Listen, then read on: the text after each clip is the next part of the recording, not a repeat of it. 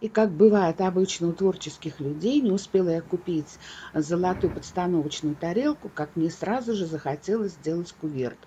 Куверт я сделала для вас с желью. И еще хочу попросить, досмотрите, пожалуйста, видео до конца, потому что э, вы увидите там очень интересные модные тарелки мультиколор.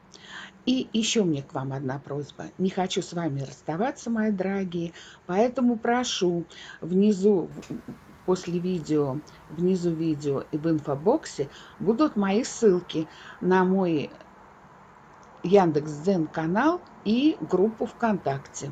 Пожалуйста, подписывайтесь, я вас жду.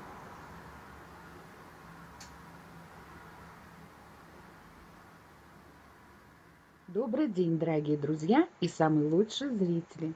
Я каждый год на Пасху накрываю свой пасхальный стол с желью. Но в этом году в связи с произошедшими событиями не стало.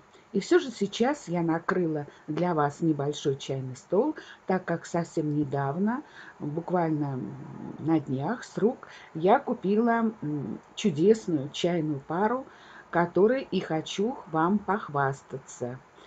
Если вы помните, до этого у меня э, было две э, парадные чашечки на ножках. Перед вами самая красивая из них, которая получила название «Снежинка». Я думаю, это из-за своей грациозности, легкости, хрупкости.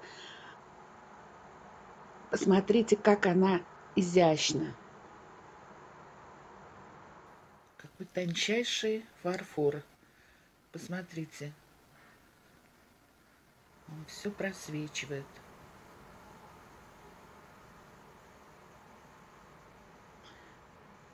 Итак, вторая чашка тоже на ножке, но фарфор здесь более плотный.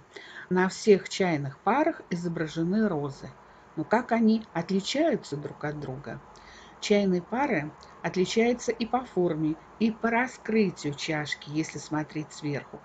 Как видите, края снежинки напоминают, они круглые, напоминают такую вот гофрированность, так же, как и блюдца.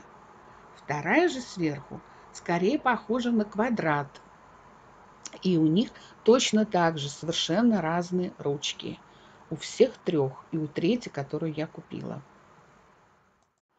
Друзья, только посмотрите, курочка снесла яичко, а яичко не простое, а гусиное. А вот и петушок, золотой гребешок, и мой любимый заварочный чайник. Полюбуйтесь-ка на этого франта. Красавец, ну просто красавец. Итак, моя новая чашка, чайная пара, не уступает по красоте предыдущим. Она тоже на ножке, у нее круглое раскрытие, по краям чашечки и блюдечка такие небольшие фистончики, а ее Ручка просто красоты необыкновенной. Рисунок на чашечке не только с внешней стороны, с двух сторон, но и с внутренней. Посмотрите, она вся в цветах, вся в букетах. И на блюдечке тоже один букет с одной стороны, другой с другой.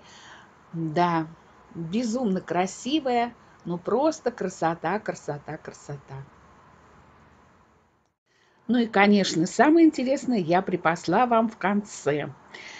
Я уже не раз вам говорила о тенденции смешивать разные стили и в, при сервировке стола, и в интерьере, в южин. Но сейчас перед вами китайский фарфор, в котором каждая тарелочка имеет несколько своих особенных рисунков. Называется это мультиколор. Спасибо, что были со мной.